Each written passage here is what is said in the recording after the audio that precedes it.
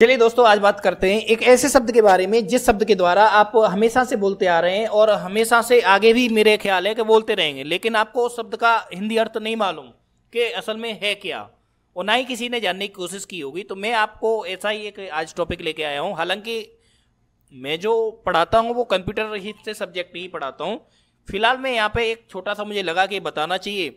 तो सर शब्द जो है, इसके बारे में थोड़ी सी डिटेल मैंने रखी है कि सर शब्द का अर्थ क्या है। इसका अर्थ जो है, वो है, मैं आपका गुलाम रहूँगा। यानी कि सर शब्द जो है, वो एक शॉर्ट फॉर्म है। यहाँ से स्लेव, आई रिमेन ये उसका पूरा वाक्य है। स्लेब से एस लिया, आई और रिमेन से आर लेकर के शॉर्ट में बनाया सर। अब इसके थोड़ा बैकग्राउंड की बात करें, ये शब्द आया कहाँ से? और इसका अगर स्लेब आई रिमेन का हिंदी अर्थ जो होता है, वो होता है, मैं आपका गुलाम रहूँगा।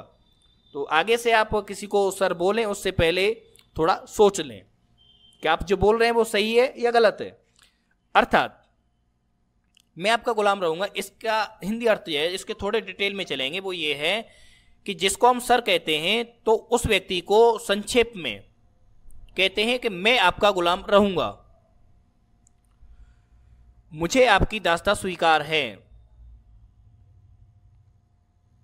इसके अगर बात की बात करें तो यहाँ से और मैं आगे इसके प्रकाश डालने की कोशिश करूँ तो बैकग्राउंड की अगर बात करें कि सर शब्द आया कहाँ से तो ब्रिटिश शासन जो था के दौरान यही चाहते थे, यानी जितने भी ब्रिटिश लोग थे, जितने भी अंग्रेज़ थे, वो यही चाहते थे कि सभी भारतीय उन्हें सर के रूप में संबोधित करें, क्योंकि वो डायरेक्टली तो नहीं बोल सकते कि आप हमसे ये कहो कि मैं आपका गुलाम रहूँगा।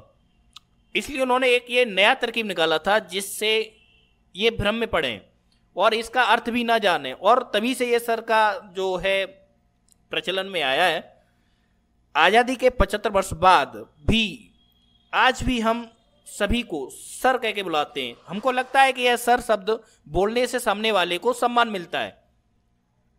और हमारा शिक्षित होने का प्रदर्शन भी होता है।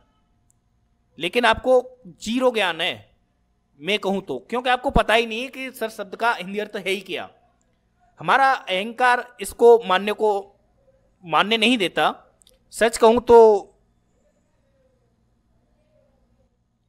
हमारा अहंकार इसको मानने भी नहीं देता।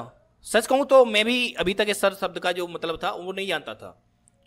अब मैं आपको बता रहा हूँ, थोड़ा सा और प्रकाश डालने की कोशिश करेंगे। अमेरिका में राष्ट्रपति को भी मिस्टर प्रेसिडेंट कहते हैं। और इसी मिस्टर प्रेसिडेंट के नाम से संबोधित किया जाता है। न कि आपने कहीं भी किसी भी इंटरव्यू में सर कह के आप नहीं देख सकते। अंग्रेज़ों ने कितनी बुद्धिमानी से हमारे देश पर शासन किया और उन्होंने गलत अर्थ वाले शब्दों जैसे सर, अंकल, आंटी, हेलो आदि को हमारे दैनिक शब्दावली में सम्मिलित करके हमको धीरे धीरे मानसिक रूप से भी कमज़ोर करते रहे। हम भी कितने मूर्ख थे कि अभी भी उनके रास्ते पर आँख बंद करके चलते आ रहे हैं।